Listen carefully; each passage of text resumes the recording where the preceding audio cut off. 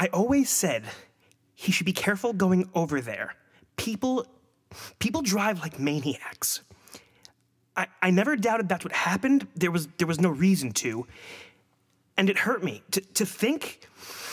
Then I saw the video that speed camera. This man, this man was supposed to be his friend. I, I just hope I never see him again because I really don't know what I would do.